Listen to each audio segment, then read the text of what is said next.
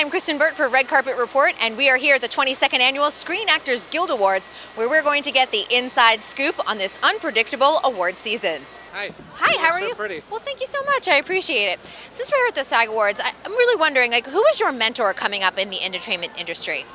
Uh, mentor. I think I, I can only. I, the only one I think about is kind of my Tim Conway and Bob Newhart were kind of icons for me. Excuse me, because they never pushed the comedy, and I always appreciated. They always trusted the the crazy circumstances they were given, and then just acted believably. Do you think, because I, I saw Carol Burnett's interview where she said. I know, to die for tonight.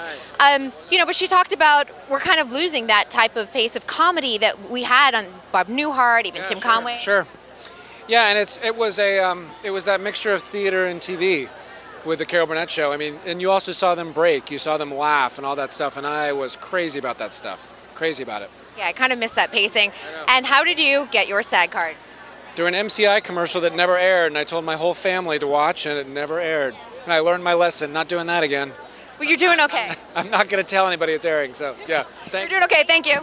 From the red carpet of the Screen Actors Guild Awards, I'm Kristyn Burtt. And be sure to subscribe, like us, or tell us who your favorite winner at the Screen Actors Guild Award was in the comments below.